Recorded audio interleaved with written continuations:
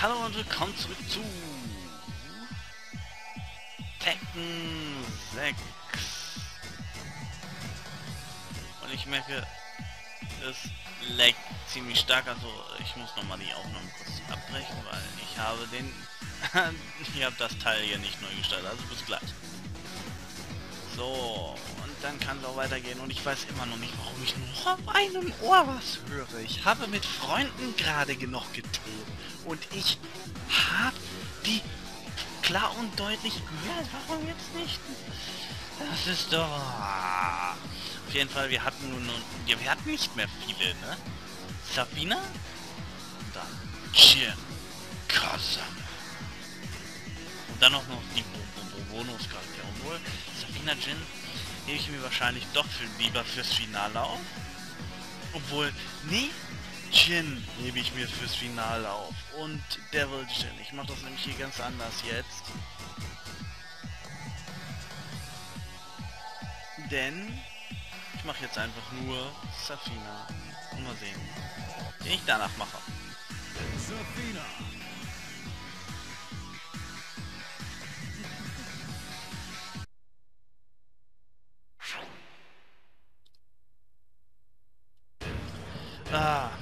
Bin doch so ein Hohlkopf. Jetzt bin ich in der Arena. Klar, warum waren die beiden wohl da? Sorry. Mein Fehler. Dann gucken wir mal, wo ist die Hexe? Safina. Ah. Ich habe total vergessen, das zum einzustellen. Das ist, na egal. Safina wurde in einer Linie aus Kämpferin gegen das Böse geboren. Eine Blutlinie, die weit in die Vergangenheit zurückreichte. Zurückreicht. Dank außergewöhnlichen spiritueller Fähigkeiten wurde sie bereits jung zu Kriegerin ausgebildet, um das Grab der Königsfamilie zu beschützen. Als das Grab von einer schwer bewaffneten ausländischen Einheit attackiert wurde, überwältigte Safina, Safina alle Angreifer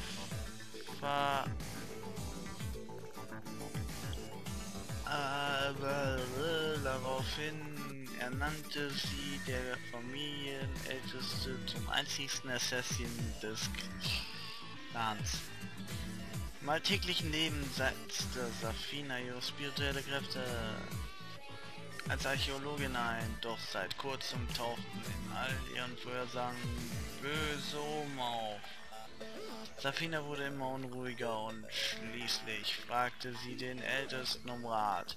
Dieser erzählte ihr eine uralte Legende, die nur an einige wenige weitergegeben wird. Der Legende zufolge bricht dann, wenn zwei bestimmte Sterne einander berühren, das von der Familie über viele Jahrhunderte beschützte Siegel auf und die Welt geht unter. Als sie dies hörte, begab sich Zafina auf die Reise in ein Land im fernen Osten, wo die bösen Sterne einander treffen sollten. Um den Lauf der Dinge Einhalt zu bieten, bevor es zu spät ist. Okay, mit Safina, ich glaube, ja, das müsste ich noch einigermaßen hinbekommen, mit der Skeff nochmal. Ich hasse diesen Azazel ab sofort nenne ich ihn asozial. Ja. Mr. Asozial wird voll in den Arsch getreten. Aber erstmal kommt Raven. Der Lieblingsninja. Da, da. Oh, komm her. Was mache ich da? Ach egal, Hauptsache es tut weh. das sah mal geil aus. Ich weiß nicht, was ich da mache, aber sieht so geil aus. Yeah. Schlangenlady. Get ready for the next battle. okay, get ready.。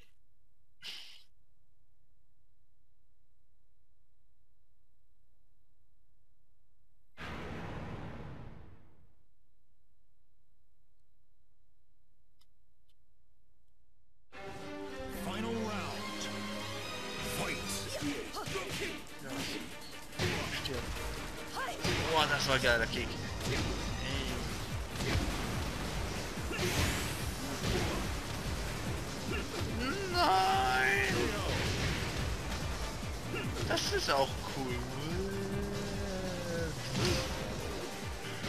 Wow. Die ist aber irgendwie eklig. Auch wenn sie einigermaßen gut aussieht, aber eine, die sich so verbiegen kann, ist mir unheimlich. Wenn sie ein Mann wäre, könnte sie sich selbst anblasen. Das meine ich ernst.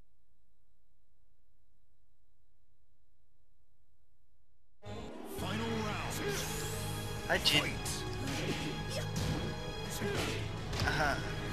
Jin. Jin. Geh mal down.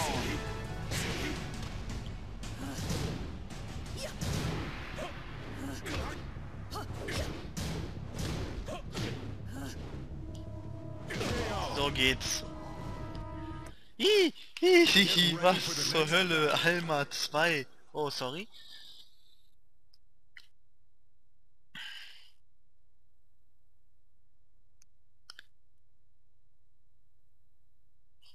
Oh, ich habe eine Nachricht in Skype. Naja, die kann ich ja nachher hier nach äh, mir anschauen.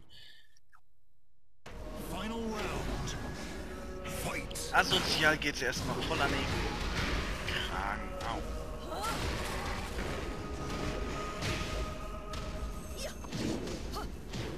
Na komm, stirb.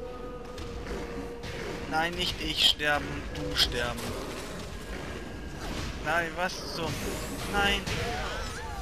Das war so klar, das war so klar. Also Mr. Asozial macht sich, macht allen Namen gerecht hier.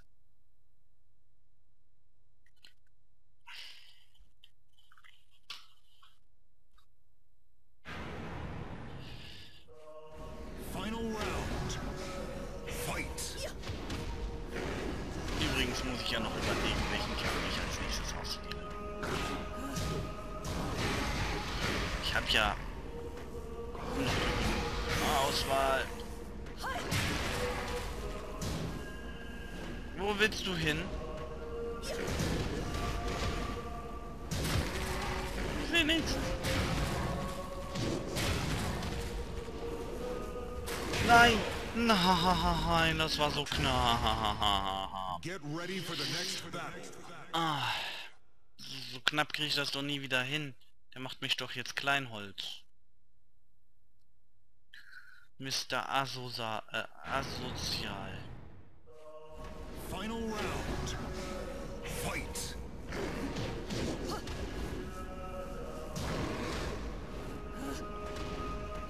Nein,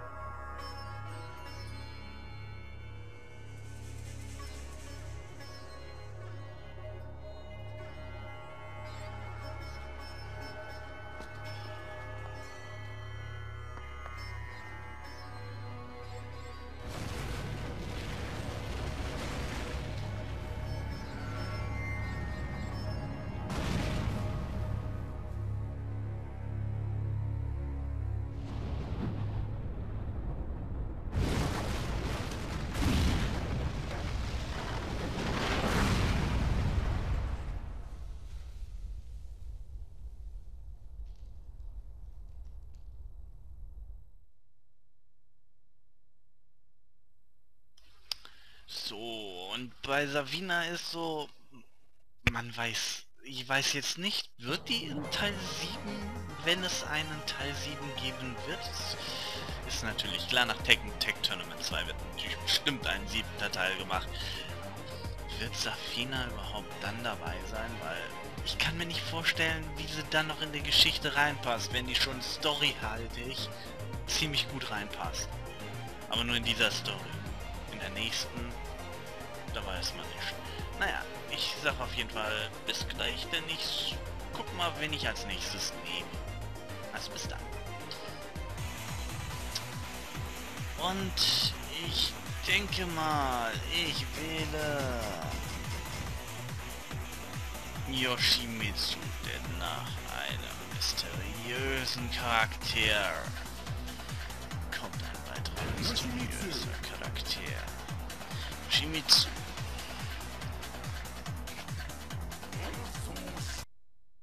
Mir ist das voll der Cyborg-Krieger. Yoshimitsu folgte Brian Fury. Um seinen gefallenen Freund Rache zu nehmen. Da bemerkte er die dunkle Aura, die das Geisterschwert Yoshimitsu gab. Das Geisterschwert war von Natur aus auf der Suche nach Blut und treibt seinen Besitzer in den Wahnsinn. Yoshimitsu hatte die Macht des Schwertes unterdrückt, indem er es regelmäßig mit Blut böser Menschen versorgt hatte. Aber es wurde immer schwerer, das Gleichgewicht des Schwerts aufrechtzuerhalten. Würde man es sich selbst überlassen, bestand die Möglichkeit, dass das Schwert außer Kontrolle geriet. Um dies zu verhindern, beschaffte sich Yoshimitsu das Fumakan. Eine Klinge mit der Fähigkeit, die Macht des bösen Schwerts zu unterdrücken. Gleichzeitig nahm er am 6. King of Iron Fist Tournament teil, wo er böse Energie in der Hoffnung sammelte, das Gleichgewicht des Geisterschwerts wiederherzustellen. Alles nur für ein Schwert? Na gut, die Story ist einleuchtend. Und ich finde, das Video am Schluss ist richtig krass. Uh, Alisa. Was ich auch cool finde, hier gibt es immer die gleichen Gegner für jeden. Deswegen kann man auch so schön die Arena machen als Let's Play auch. Weil man hat immer diese Gegner.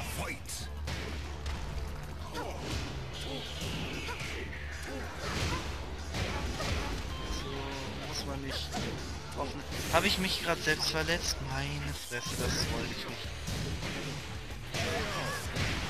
Yes.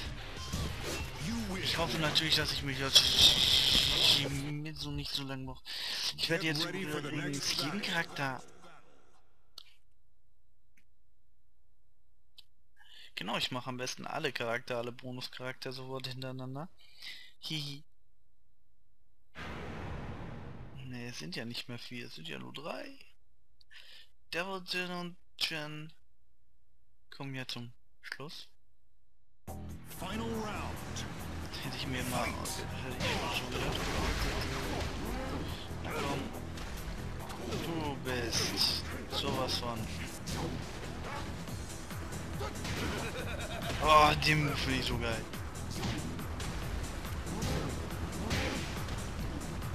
Ryan, du bist nicht stark.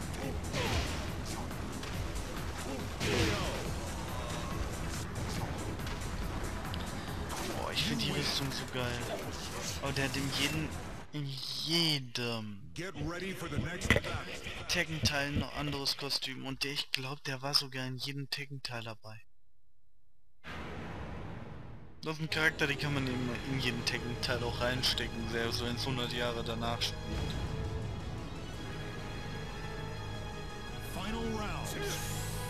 Wird keiner der heutigen Charaktere leben, außer Yoshi. Au.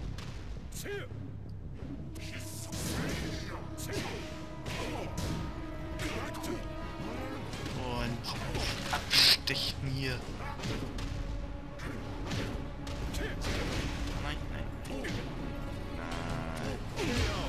So, der wäre auch versorgt. Jetzt kommt natürlich der letzte Gegner, vor dem ich natürlich wie immer Schiss habe.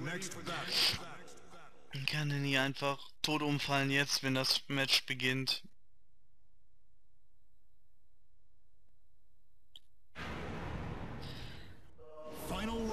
Da komm her, Asalte.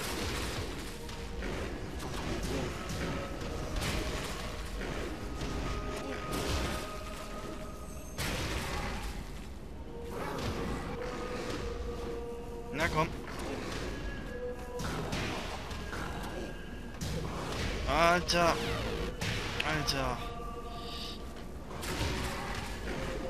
Nein. Nein, nein, nein.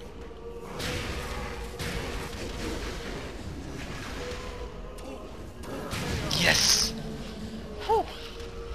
First try, first try, first try. Viel Spaß bei der coolen Cutscene.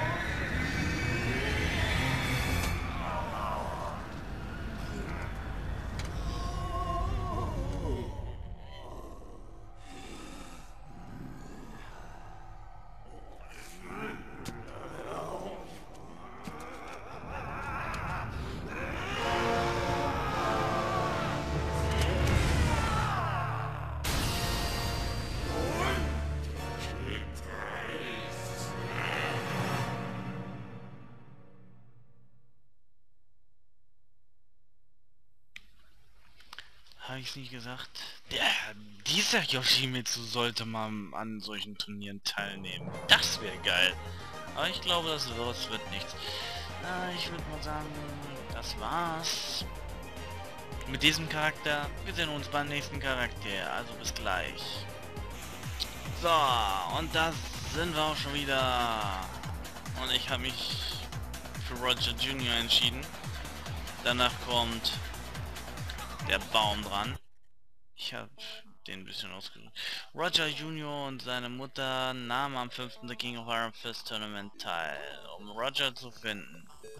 Nach vielen Schwierigkeiten fanden sie ihn schließlich. Allerdings lebte Roger gerade ein unbeschwertes Leben und verschwendete keinen Gedanken an seine Familie. Die Mutter von Roger Jr. verschlug es beim Anblick ihres Ehemanns die Sprache und sie entschied sich, endgültig sich von ihm scheiden zu lassen. So lebten Roger Jr. und seine Mutter allein. Das Leben ohne Vater war hart und äh, einsam. Eines Tages wurde schließlich das sechste King of Iron Fist Tournament angekündigt. Roger Jr. und seine Mutter entschlossen sich zur Teilnahme, um ein unbeschwertes, finanzielles, finanziell gesichertes Leben führen zu können. Get ready for the next, Get ready for the next battle. Ja, ja, ja, ja, ja. Ist klar, ist klar, ist klar. Das werde ich doch niemals schaffen mit denen. Also bei ähm, Mogojin denke ich mal, werde ich keine Probleme haben, weil der jeden Charakter machen kann und ja, das wird leichtes. Hi Brian. Tschüss Brian. Aber was ist mit Alex? Ja, der ist glaube ich in Tekken Tech wieder dabei.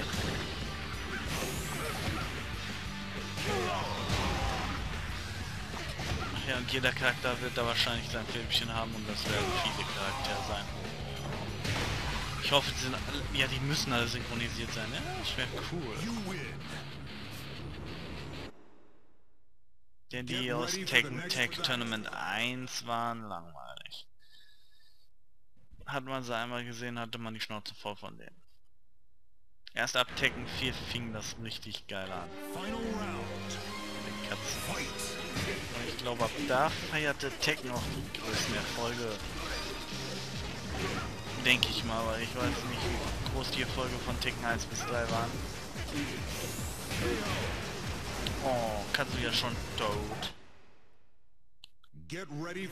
Ah, jetzt kommt Jin, danach kommt Asa, äh, Asozial, genau, Asozial. Jin, Jin, Jin, Jin, Jin, du hast doch keine Chance. Ach, das bringt doch auch nicht. Komm her, ich bin Roger Junior und ich bin... Uh. Ja, jetzt habe ich gewonnen. Aber der nächste Kampf wird hart.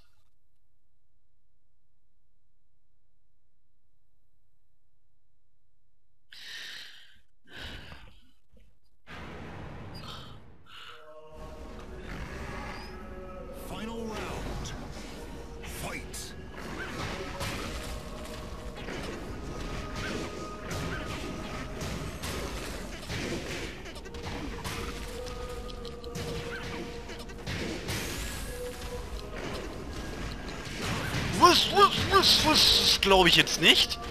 Das glaube ich jetzt nicht. Das glaube ich jetzt nicht. Das habe ich nicht gemacht. Das habe ich nicht gemacht. Viel Spaß bei der Cutscene.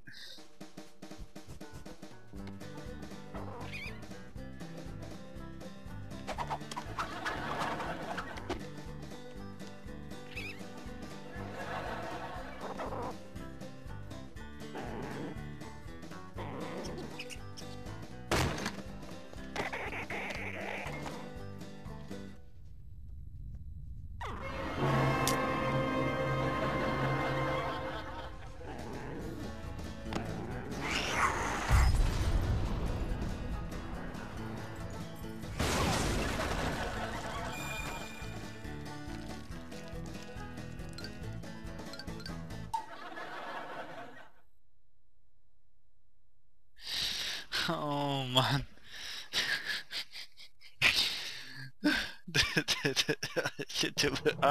oh mein Gott. Einfach nur episch. Also, bis... Ah, bis Mogujin. So, und dann nehmen wir auch den letzten Charakter in dieser Vierer-Kette. Safina hätte ich wahrscheinlich doch eher am Schluss benutzen sollen. Ah naja. Mokujin ist bei mir übrigens weiblich. Mokujin ist eine hölzerne Trainingspuppe aus einer 2000 Jahre alten Eiche. Mokujin spürte die Anwesenheit eines dauernden Bösen und ist erwacht, um die Welt vor diesem zu bewahren. Mehr ist zu der Geschichte nicht zu sagen, also die mussten eine Geschichte für ihn erfinden. Es ist einfach nur ein Charakter, der alle Moves beherrscht. Und ich finde Combot besser als Mokujin, um ehrlich zu sein. Warum? Weil er hergestellt wurde und eine Story aufweist. Eddie oder Krusty. Und wir müssen gegen Leo. In meinen Augen immer noch Leonie.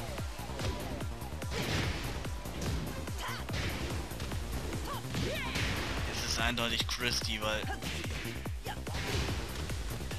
ich komme mit den Fuß nicht so gut klar. Oder ist es Eddie? Ach, die spielen sich gleich. Nee, es ist Eddie, weil der Anfang von ähm, wie er reinkam.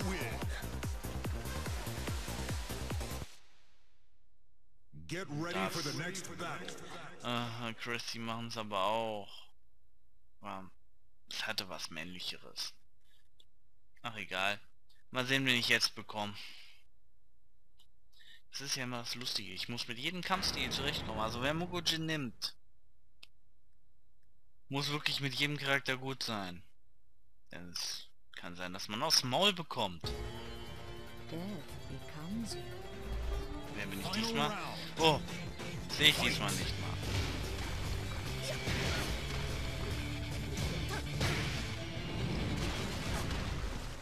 Äh, ich kann das nicht erkennen.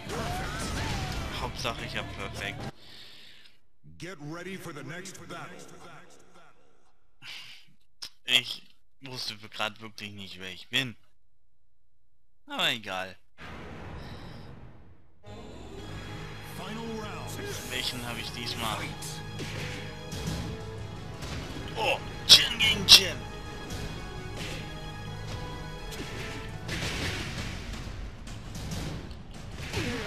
Könnt ihr schon mal einen Vorgeschmack haben auf das, was euch blüht, wenn ich Jin hab? Nämlich das blüht Kazuya. Get ready for the next battle.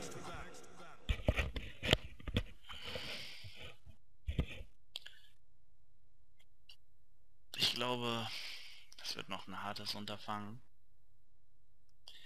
Aber ich weiß nicht, soll ich Devil Jin vor Jin nehmen? Weil ich finde Jins Ende ist viel interessanter.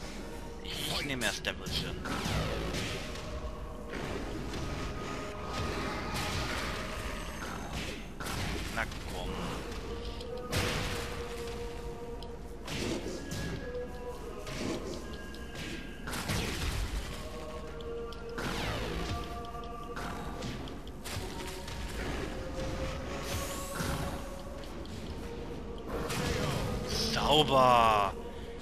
Mukujin macht auch den ganz klein.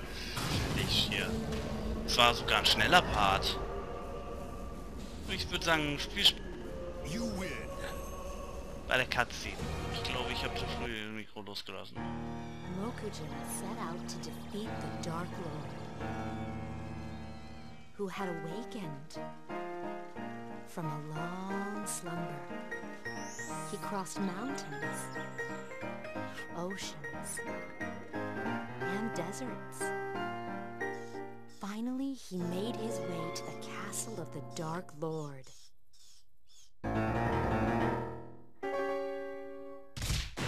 After a fierce battle, Mokujin defeated the Dark Lord and took his place on the Dark Lord's throne.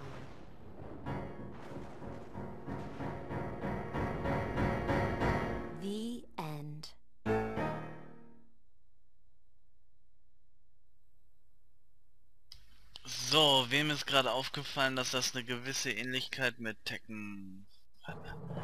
Tekken, Tekken, Tekken, Tekken, Tekken, Tekken. Äh, war noch?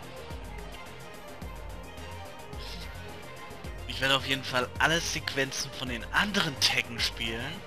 Also Tekken 4 und Tekken 5 freischalten und euch auch präsentieren. Also ich denke mal, dass ich das irgendwann machen werde. Wird aber noch lange dauern. Weil ich noch andere Projekte am Laufen habe, die wichtiger sind. Und ich würde mal sagen, das war's für heute von diesem Part der sehr erfolgreich war, finde ich. Also ich habe Azazel, glaube keine Chance gelassen. Und heute immer wieder gelassener gekämpft als letztens. Boah.